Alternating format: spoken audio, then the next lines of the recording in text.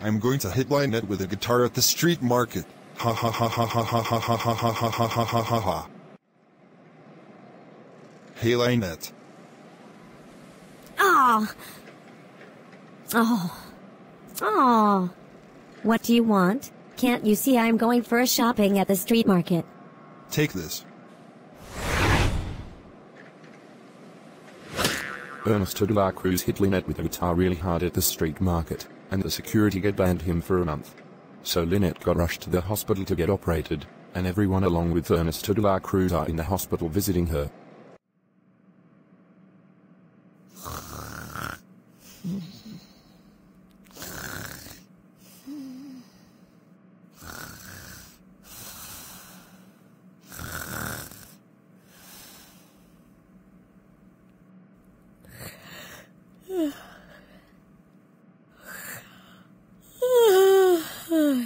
Huh?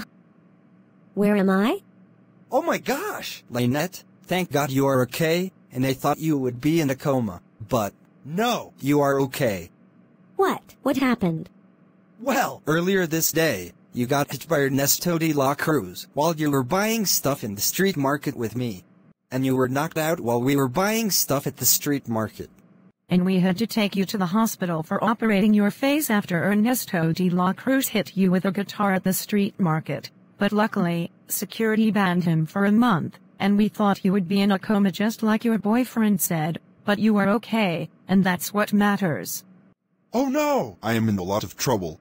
Let's go home right now, Ernesto. We have a lot of explaining to do when we get home.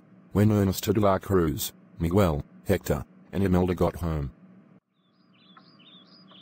Ernesto de la Cruz, how dare you hit Lynette with a guitar at the street market and got banned from the street market for a month. Now thanks to you, Lynette is in the hospital to get operated by the doctors.